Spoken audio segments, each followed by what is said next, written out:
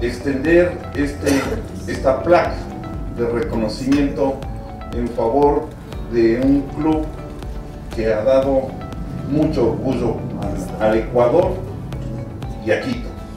Realmente en el corto tiempo de existencia que tiene el club independiente ha demostrado cómo debe manejarse un club para que fundamentalmente los jugadores sean agentes de transformación de un.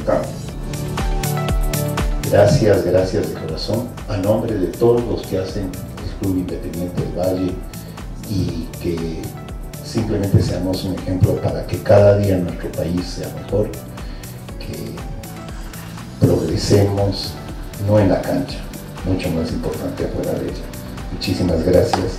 Muchísimas gracias. Salud campeones, ustedes son un ejemplo, son una gloria